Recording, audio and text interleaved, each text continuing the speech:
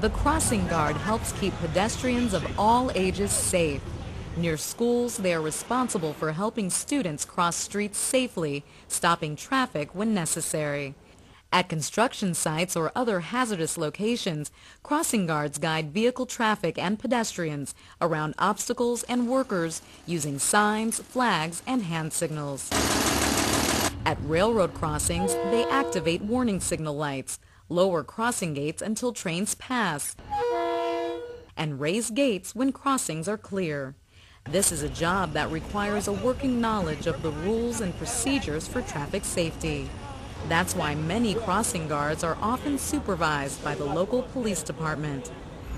And then when they depart, you go out and you stop the. A high school diploma is preferred, but not required.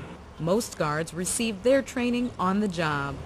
The work is outdoors day and night, in good weather and bad. In fact, the job becomes even more important when weather is at its worst, because it is harder for drivers and pedestrians to see clearly. In addition to having good vision themselves, crossing guards must be able to react quickly. They also need the stamina to stand for a long period of time.